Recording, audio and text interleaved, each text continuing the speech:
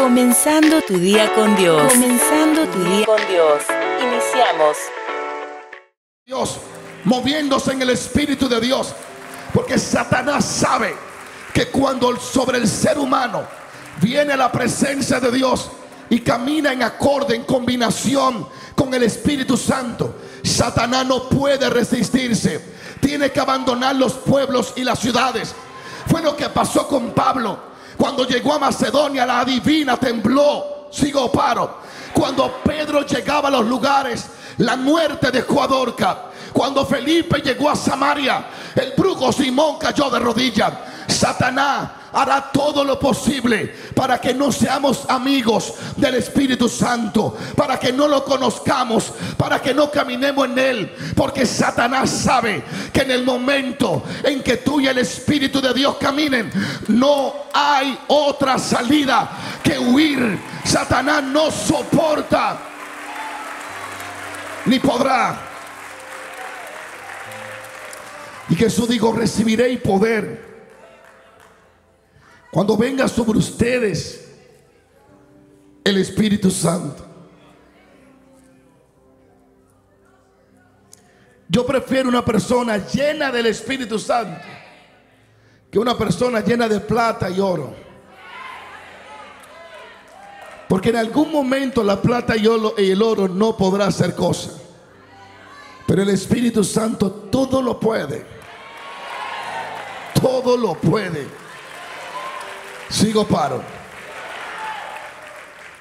Recibiréis poder cuando venga sobre ustedes el Espíritu Santo.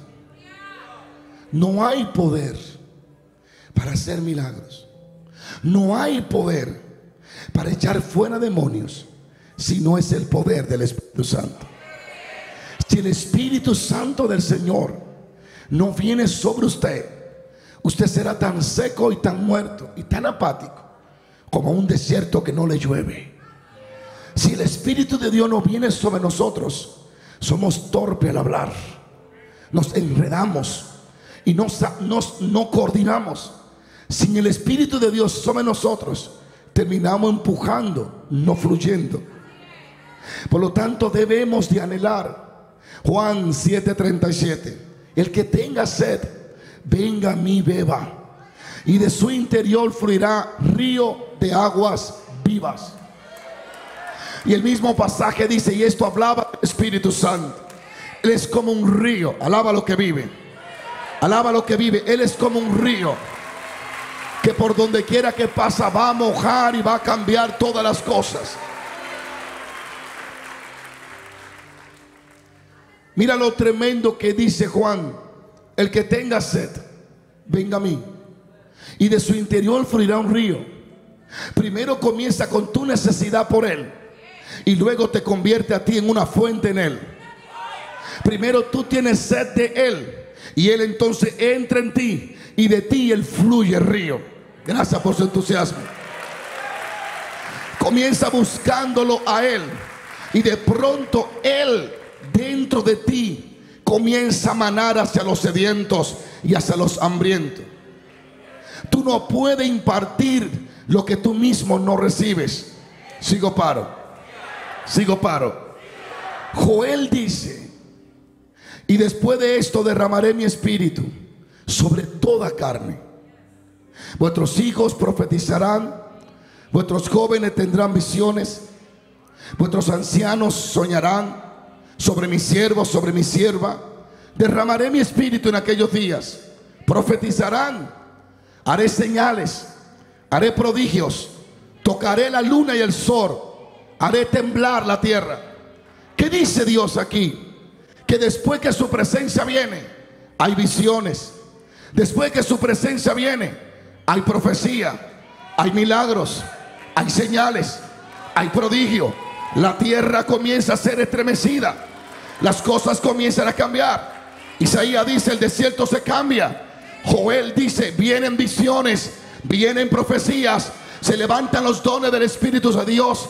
Aquella profetiza, aquella interpreta. Necesitamos orar y llorar para que Él no se vaya de nosotros, sino que cada instante derrame una fresca unción sobre nuestras vidas.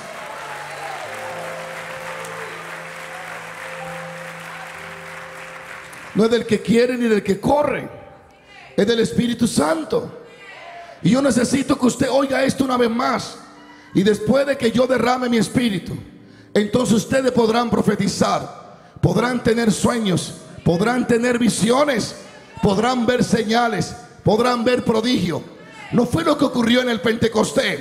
120 sentados reciben el Espíritu Santo, inmediatamente la tierra tiembla, se sacude el Pentecostés, tres mil caen de rodillas, comienzan los milagros, comienzan las señales, comienzan los prodigios, comienzan los sueños, se levantan los profetas, se levantan los soñadores, se derrama el Espíritu Santo sobre la gente y comenzó una revolución en toda Jerusalén.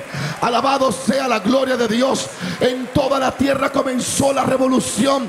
Aleluya, aleluya, aleluya, aleluya, aleluya. Hay tristeza cuando muere un hombre de Dios, pero qué gracia le damos a Dios porque nos presta hombres ungidos que hacen maravillas y que buscan la gloria de Dios. Pero ellos partieron y están a la dieta del Padre recibiendo sus recompensas y bajo ninguna circunstancia quieren regresar. Pero Dios dice, yo me los llevo, mas yo levanto otros ungidos para tocar la tierra otra vez. Porque la obra de Dios no se detiene. La obra de Dios va a continuar. Si el Espíritu Santo está en la tierra, habrá muchos Tibi Joshua. Si el Espíritu Santo está en la tierra, habrá muchos Gigi Ávila. Si el Espíritu Santo está en la tierra, habrá nombres que se levantarán y predicarán con poder. Esto fue tu programa Comenzando tu día con Dios.